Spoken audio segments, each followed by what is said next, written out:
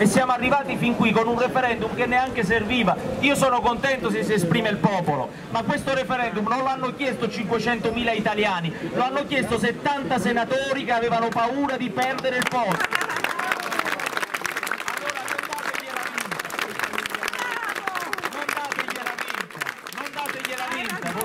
e dite agli elettori delle altre forze politiche che i loro partiti hanno votato sì e se qualcuno vi dice che vota no contro il Movimento 5 Stelle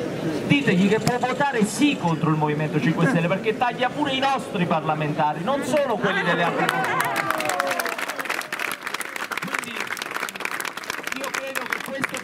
sia un altro passaggio importante del nostro percorso, ma non è né la fine del nostro percorso né il cambiamento epocale. Vi sto solo dicendo, anche da Ministro degli Esteri, che portiamo il livello di parlamentari eletti dell'Italia a livello europeo. Perché è così alto in Italia? Perché i nostri padri costituenti avevano ragione quando hanno fatto la Costituzione, venivamo dal fascismo, avevamo bisogno di più rappresentanti del territorio perché gli enti locali erano sfasciati, non avevamo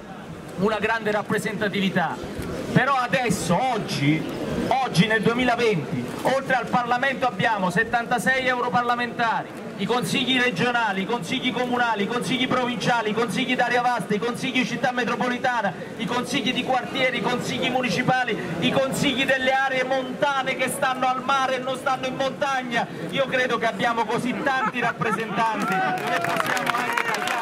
Recovery Fund, ceramica e referendum sono stati questi i principali temi toccati dal ministro Luigi Di Maio in visita sabato 12 settembre a Faenza per sostenere da una parte il Movimento 5 Stelle alle prossime elezioni all'interno della coalizione di centrosinistra in alleanza col Partito Democratico, dall'altra il sì al referendum sul taglio dei parlamentari. Insieme a Di Maio anche la senatrice Paola Taverna, l'europarlamentare Sabrina Pignedoli e la consigliera regionale Silvia Piccinini. Prima dell'incontro con gli elettori, Di Maio e il candidato sindaco Massimo Isola hanno visitato l'Alfa Tauri per congratularsi col team di Formula 1 dopo la vittoria al Gran Premio d'Italia a Monza la scorsa domenica. Queste persone avranno le chiavi dei vostri ospedali tra le mani.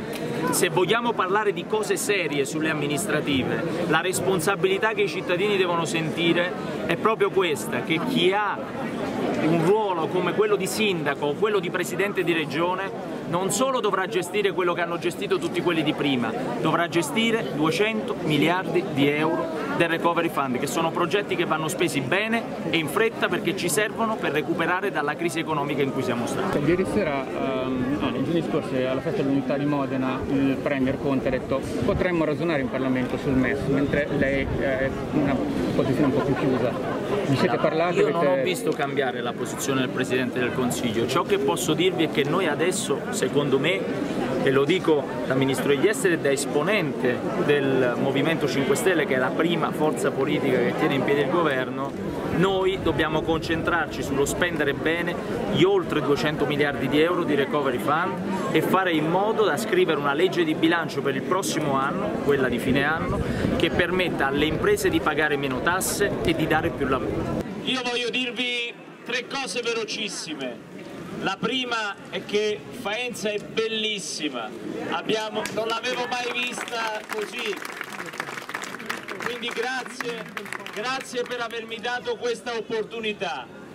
La seconda cosa è contate su di me come Ministro degli Esteri per sostenere una delle vostre eccellenze del territorio, la ceramica, il distretto della ceramica che vi fa grandi nel mondo.